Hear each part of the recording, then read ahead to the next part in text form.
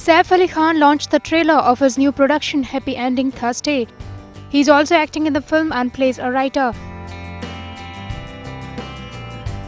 With a possible hint at his last comedy, Humshakals, the actor said this one is subtle and has an international appeal. It is a genre I'm comfortable with, and I was happy. I think uh, it was great fun working with Raj and DK because they directed in a slightly different way for me.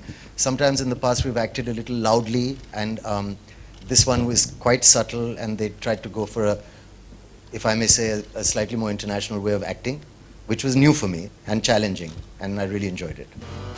Saif hopes the film does well at the box office but added that money was not the only concern while putting the film together.